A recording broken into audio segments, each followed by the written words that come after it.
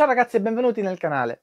Qualche giorno fa ho fatto la video recensione di questa smerigliatrice assiale della Parkside che in quel video vi avevo fatto capire proprio che mi era piaciuta parecchio. Avevo, avevo solo un dubbio che effettivamente ho visto dei commenti che è diventato anche un vostro dubbio che era il surriscaldamento di questa parte dell'impugnatura. Vi avevo quindi detto che per poterlo utilizzare con serenità dovevo per forza sapere come era fatto internamente e quindi è arrivato il momento di farvi vedere come è fatta internamente questa smerigliatrice assiale. Avviciniamo la telecamera. Allora ragazzi partiamo direttamente con la smerigliatrice smontata così risparmiamo un po' di minuti di video e vediamo già diversi componenti. Intanto vediamo che questa è semplicemente una copertura in plastica.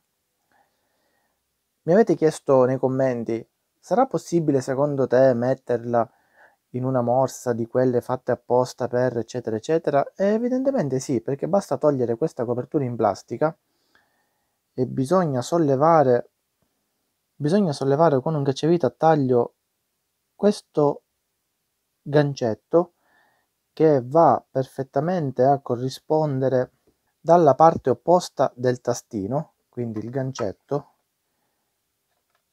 si incastra qui. E questo lo fate con la smerigliatrice tutta montata.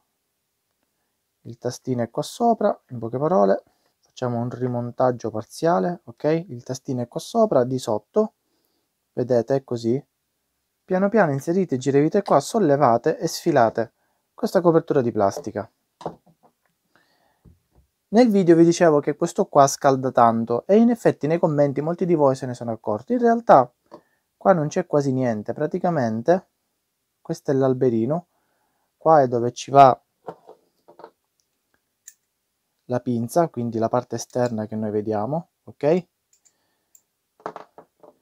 E c'è questo cuscinetto che ha questa sede, più c'è un cuscinetto là sotto nella parte frontale quindi fatto bene perché ha un cuscinetto qui e un cuscinetto qua. E anche se a me comunque per levare questo alberino mi è bastato fare così proprio con questa forza che avete visto ora. E il cuscinetto da questa parte si è, si è sfilato. Guardate anche la cura nei dettagli c'è una specie di spugnetta nella parte frontale per non far entrare sporcizia all'interno e far rovinare il cuscinetto abbiamo una molletta che blocca quest'asta in posizione.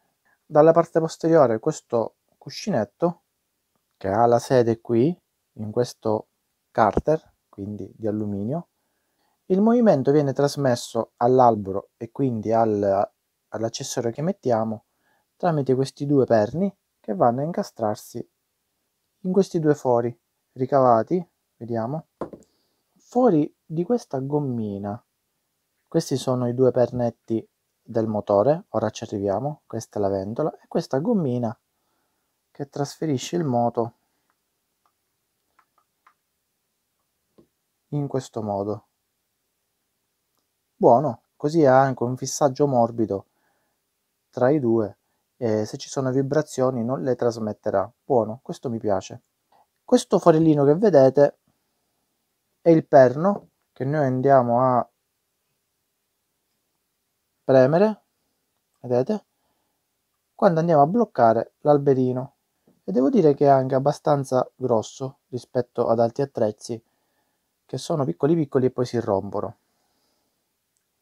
E va nella parte più spessa così non, non sono andate a indebolire l'albero che comunque è bello pesante quindi è tutto pieno molto robusto, mi piace, questa parte è fatta bene. Andando indietro vediamo la grande vendolina e il motore, è uno Speedmaster RS 897 20 volt. Ha queste alette per incastrarsi, tutte e due le scocche. Qui vediamo, prova a farvi vedere, vediamo le spazzole là dentro ok si vedono mentre da questo lato l'avvolgimento il tastino di accensione come vedete ha un leveraggio che va a premere il pulsante qua dietro.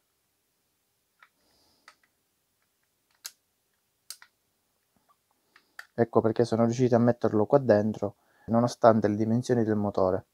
Quello che è scritto in confezione, motore con alloggiamento in metallo, in realtà sì, è vero, è tutto il motore che ha l'alloggiamento in metallo, perché alcuni utensili della Parkside hanno parte del motore bloccato sulla plastica, soprattutto questo alberino spesso è bloccato sul, sul carter di plastica che poi comprometterà la funzionalità soprattutto se lo mettiamo sotto stress e la plastica si va un pochettino a deformare. Questo è tutto un blocco unico, il motore è dentro, questo è il circuito, la scheda di controllo, velocità di regolazione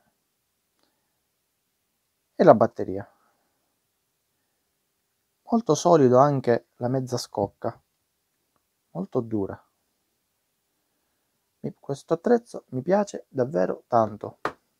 Questo qua, ora lo rimettiamo, c'è il cuscinetto ma entra pulito pulito, perfetto.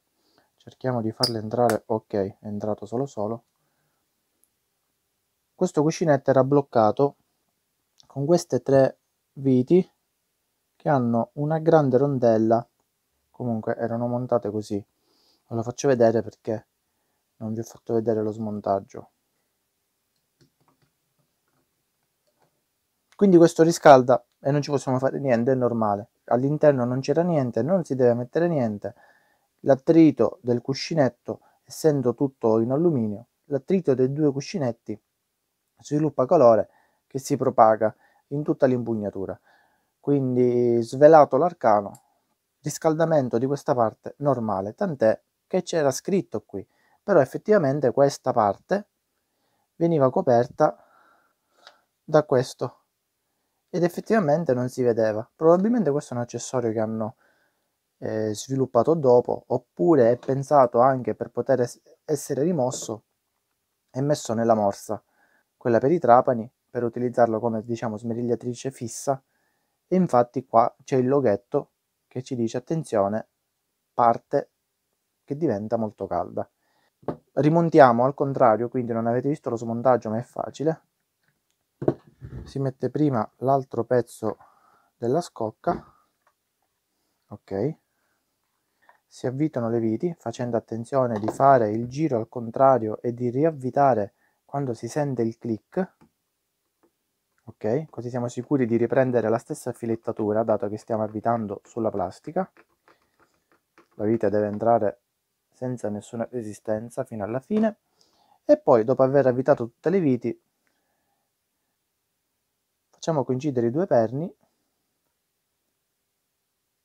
e ruotiamo fino ad, ad arrivare ad avere il tasto per bloccare vicino al tasto di accensione e rimontiamo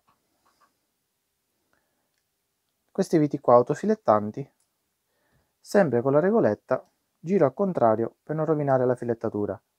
Appena sentiamo il click avvitiamo. Ok? E possiamo avvitare. Dopodiché tutte le viti mettiamo questo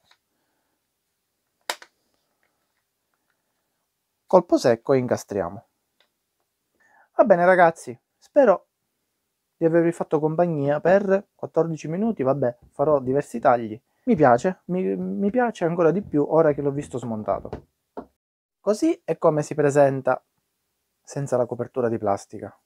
Se volete mettere un collarino qua e bloccarlo nelle morse tipo quelle dei trapani, mettendo la copertura di plastica con l'incastro parte di sotto